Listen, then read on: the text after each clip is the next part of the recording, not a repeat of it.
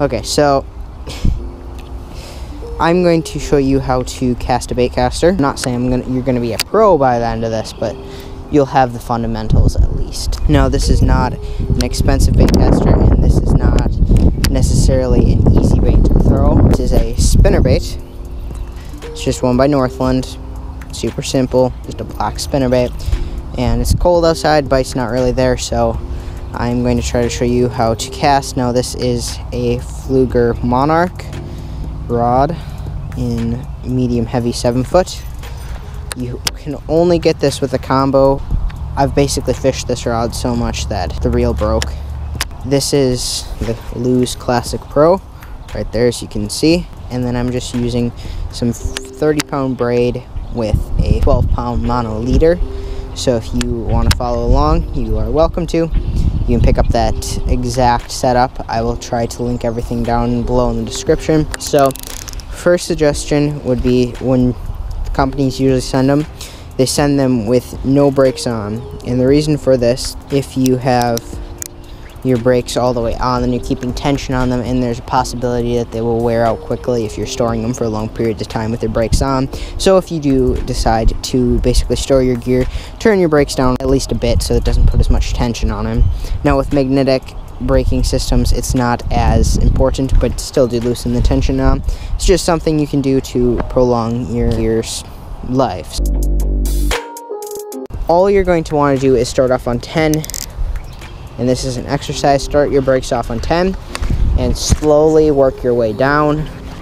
Your knob, if you have a knob style baitcaster, turn those all the way up to max. And this is just going to assure that you won't get a backlash even if you don't thumb it. So just get comfortable on max brakes, take a couple casts. It's basically going to be exactly like casting a push button. As you can see, I didn't thumb it, nothing like that.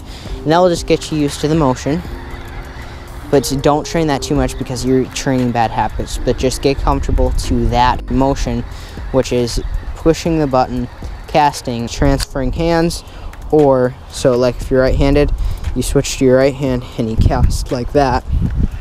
Whereas if you're left-handed or a left-handed bait caster you'd always just cast with your right hand if that makes sense. Just gets you used to that motion. You're going to be doing it a lot and if you don't get everything down you're never going to cast as proficiently as you would if you got everything down. After you do that, what you can do is you can come over here to your tension knob and this right here, this little knob on the side of the reel, you may be wondering what that is. So there's a little pin and it pushes on your spool and it basically just helps control your spool. You may be asking what's the difference between the braking system. The braking system helps you stop. It also helps us start whereas the tension just keeps tension on that spool the entire time so that the it, you can actually keep up it's fish. Well i'm sorry. I might be quiet for a second. I want to catch a fish.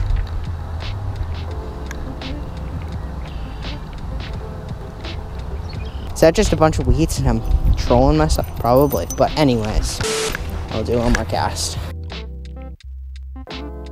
Just to make sure Gotta make sure. So, get that down there. Bring this one in kind of quickly.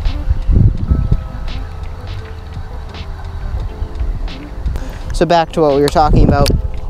Basically, this side, or whatever braking type you have, is helping you both stop that spool from spinning and help the start of it so that it's a bit smoother and it just helps you transition between the start and also transition into the finish. And the tension knob is basically keeping tension on your spool the entire time because if your spool is spinning faster than your line can go off, then you're going to have a something called a backlash or if it's really bad a bird's nest so if you hear those terms that means that basically you got well you got a little knot in your reel or it could be big depending on how bad it is I'm going to do something very painful, which I hate doing, and I'm going to purposely get a backlash.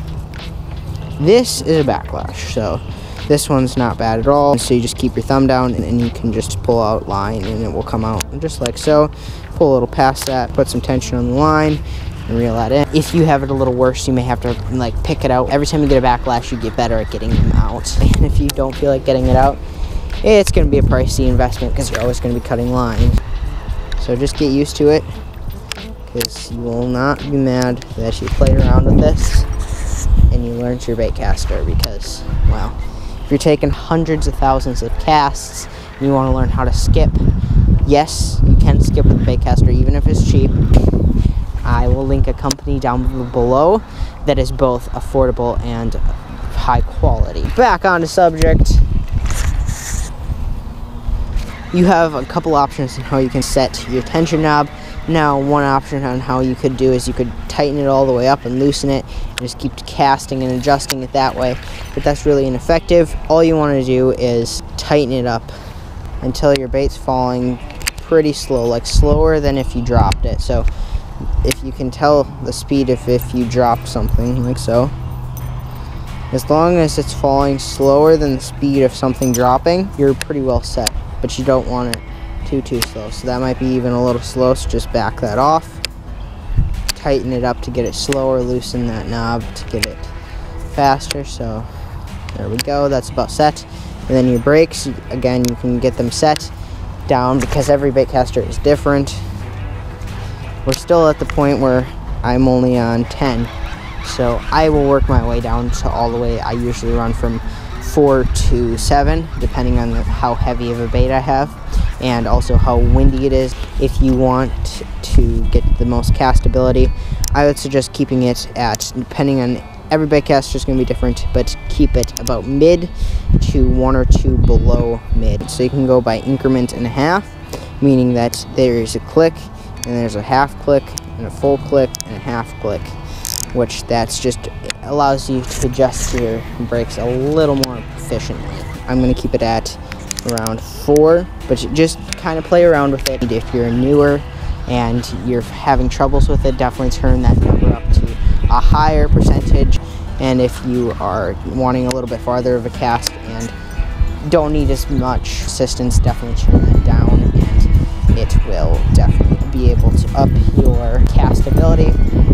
Not to say that you can't learn with the low brakes, but it just makes the learning curve a lot less painful if you up your brakes to a little more assistance and slowly wean yourself off of them.